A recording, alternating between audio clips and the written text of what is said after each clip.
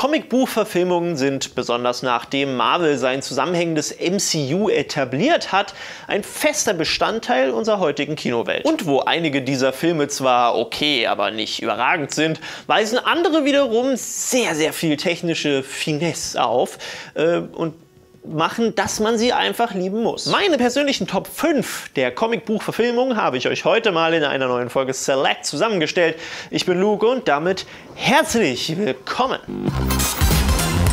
Nachdem 2012 alle Hauptbestandteile der Avengers Earth's Mightiest Heroes Comics zusammengestellt waren, nun, bis auf ein paar Nebenrollen, wurde es Zeit für Marvel in das Finale der ersten Phase ihres MCUs mit Marvels The Avengers von Joss Whedon zu ziehen. Nein! In epischen Proportionen kämpften unsere Helden darin gegen eine vom Gott des Unheils Loki verursachte Invasion der Alienrasse Chitari. Wundervoll kommt hier der bereits vollständig etablierte und verspielte Charakter des Tony Stark heraus. Wir erfahren einiges über das Geheimnis und die Fähigkeiten des Bruce Banner, aka Hulk, und erleben auch Captain America nach Jahrzehnten im arktischen Eis sowie Thor in voller Action also Captain America war nicht in Thor, sondern Thor ist auch in voller Action, genauso wie Captain America. Das nur, dass, jetzt, dass ihr es nicht falsch versteht.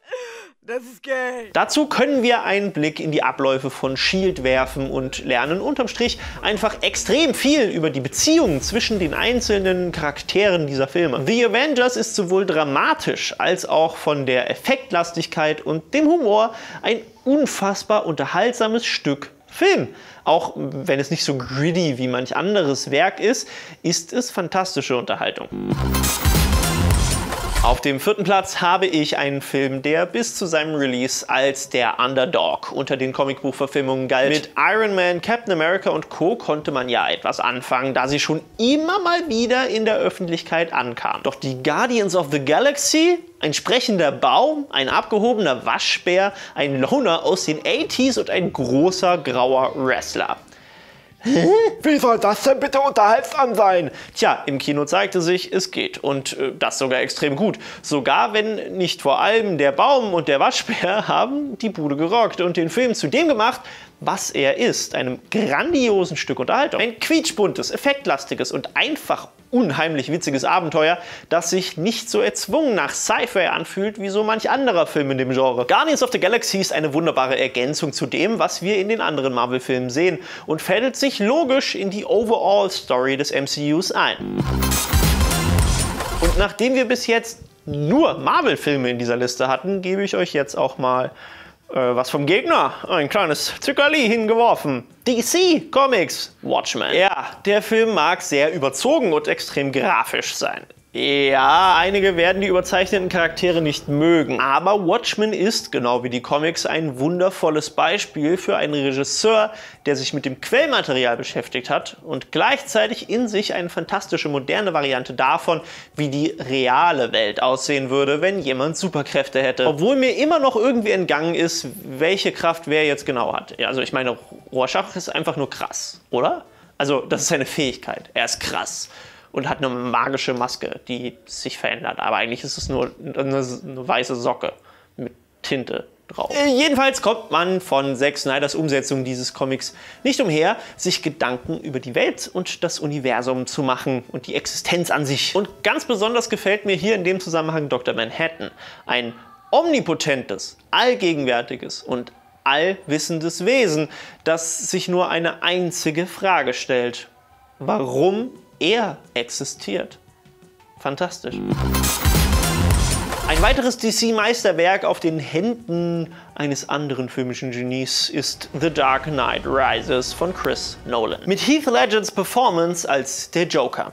Es war seine letzte Performance. Ledger war so ein ambitionierter Method Actor, dass er sich in den Wahnsinn seines Charakters hineinversetzte und nicht mehr herauskam. Diese Persona fraß ihn auf und er verfiel in immense Depressionen und starb schlussendlich an einer extremen Wechselwirkung verschiedener Beruhigungsmittel, die er wegen seiner Probleme und aus Suchtgründen einnahm. In The Dark Knight Rises geht es um den Joker, den absoluten Nemesis von Batman. Ledger stellte diesen Charakter so überzeugend und gut dar, dass selbst Schauspieler am Set vollkommen schockiert und betroffen wurden, als sie ihn erlebten. Doch nicht nur diese fantastische Performance, sondern auch das gesamte Wechselspiel von Farben und Lichtern, die Storyline und Entwicklung der Charaktere sowie jedes kleine Detail spielte mit hinein in den wundervollen Film, den wir hier sehen. Das ist nicht nur einer der besten Comicbuchfilme, sondern einfach einer der besten Filme überhaupt. Und auf Platz 1 ist nun ein Film, den viele vermutlich nicht so platzieren würden. Dennoch tue ich dies und ich nenne euch gleich die Gründe. Mein Platz 1 ist Iron Man aus 2008. Zunächst einmal habe ich Iron Man hier wegen dem fantastischen Casting gewählt. Robert Downey Jr ist quasi Real-Life Tony Stark, wenn man mal von mechanischen und technischen Geschick absieht. Diese Rolle ist ihm wie auf dem Leib geschneidert und de facto graut es mir bereits von dem Tag, an dem er durch einen Reboot ersetzt werden könnte. Als nächstes kommt der Aufbau. Marvel hatte schon damals den großen Plan, alle ihre Filme miteinander zu verknüpfen und baute so viele kleine Dinge in diesen Film schon mit ein, die erst viel, viel später wirklich Sinn ergaben. Und dann der Ansatz von Stark als Charakter selbst ist so wunderbar. Das war einfach wunderbar. Also aus den Comics natürlich. Ein Waffenhersteller, der im Angesicht der Zerstörung seiner eigenen Machtwerke alles umdreht und zum Beschützer der Welt wird das noch mit viel Humor und Witz und absolutem Desinteresse seine Identität geheim zu halten. Iron Man ebnete den Weg für inzwischen fast zehn Jahre kontinuierliche Comicbuchfilme und uns stehen noch mindestens zwei weitere Jahre bevor. Und die anderen Phasen des MCUs sind ja jetzt noch nicht ganz bekannt, aber irgendwann sind die Leute wahrscheinlich auch ein bisschen zu alt. Iron Man ist, was all diese Filme des MCUs zusammenhält. Und das sehen wir auch gerade jetzt wieder im neuen Spider-Man-Film. Wo sich viele beschweren, was Tony darin zu suchen hat, sage ich nur, wo ein Tony hinpasst, soll ein Tony rein. Ich werde nie genug von Robert Downey Jr. als Iron Man bekommen. Wie seht ihr das denn und was ist eure Lieblings-Comic-Buch-Verfilmung?